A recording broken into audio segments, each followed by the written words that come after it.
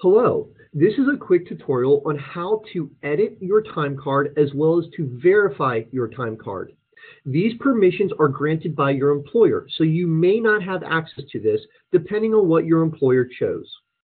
To begin, please log in on your employee self-service portal and navigate to your time card. From your time card, the first thing you will want to do is to correct any type of missed punches. You will see that we are missing a punch on Friday the 14th, which is showing up in red. In order to correct this, simply collect, select the appropriate time that you wish to punch out. Click Punch, and then make sure that the appropriate time is entered inside the box. Go ahead and hit Save. From here, you will go up to the blue ribbon bar and click Show Results.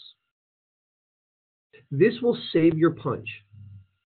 From here, verify that the rest of your time looks good, and then go up to the blue ribbon bar and select from the dropdown of Unverified and click Employee Checkbox. This will verify your time card.